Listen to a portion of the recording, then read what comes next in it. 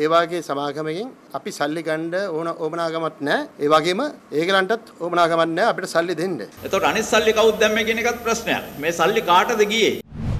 ඩයිබටසෝල් සීනිවලින් පරිස්සම් වන ඔබට අමතක නොවන පෝෂණය.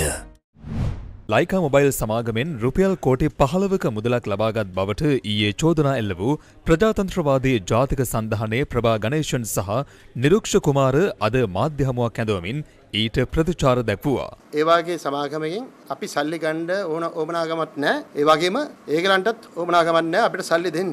ඒ නිසා ඒ වගේ කට්ටිය දැන් කියලා දෙනවා මේ කාගෙත් එක්කද අපි කෝටි 15ක් අරන් තියනවා කියලා. එතුමා ඒක ඔප්පු කරා නම් නැත්තම් අපි මේ උසාවියට යනවා හෙට මිලියන 100ක් අපි වන්දිල්ලනවා. ඔප්පු කරා නම් මම පක්ෂ නායක තත්ත්වයේ ඉඳලා අයින් වෙලා පක්ෂෙම විසරලා යනවා මම. මේ චෝදනාවට පිටිපස්සේ ලොකු කොමන්දිරක් තියෙනවා. කවුද ඉන්නවා කියන්නේ එක මම දන්නේ නැහැ. හැබැයි ඉන්නවා. රටේ තුන්වෙනි බලවේගයට අපි ඉන්නවා.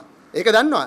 මං සිංහලෙන් වචනක් තියෙනවනේ මේ ගයෙන් ගෙඩියක් හිදිනවා නම් ගල් ගන්නවා කියලා. ඒ වගේ තමයි ගල් ගහලා තින්නේ. ඔය වලට බය වෙලා අපි පිටිපස්සට යන්නේ නැහැ. මේ ඉන්න එමෝම පිරිසුදු කට්ටිය මෙතන වෙලා ඉන්නේ. පක්ෂයේ සභාපති විදියට පහුගියල අපිත් එක්ක එකතු වුණා මොහාන් පෙරරා මැතිතුමා. අපි පක්ෂයේ මධ්‍යම කාරක සභාව තීරණය කරා කරපු తాවකාලිකව පත් කරපු සභාපතිවරයාගේ සභාපති ධූරය අත්හිටවන්න 11 වෙනිදා වෙනකන්. මොකද 11 වෙනිදාන් පස්සේ තියෙන චෝදනාවට කරුණු ඉදිරිපත් කරේ නැත්නම් එතුමාගේ සභාපති ධූරය සම්පූර්ණයෙන්ම අයින් කරනවා. ඉතින් මෙවැනි පසුබිමක තමයි මේ කීර්ති කියන සංවිධායකවරයා කෙනා මේ චෝදනාව නගන්නේ. ඉතින් එතුමාටත් අපි කියන්නේ අපි එන්තරවාසී යවනවා. මගේ නම කියලා කිව්වා මම මිලියන 100ක් ඉල්ලලා. ලේකම්තුමත් පෞද්ගලිකව අපි එන්තරවාසී තුනක් යවනවා. හෙට දිනේන් පස්සේ CID එක එහෙම නැත්නම් අපරාධ පරීක්ෂණ දෙපාර්තමේන්තුවට දානවා. සියලු තැන්වලට අපි පැමිණිලි කරනවා මේ බරපතල චෝදනාව සම්බන්ධයෙන්.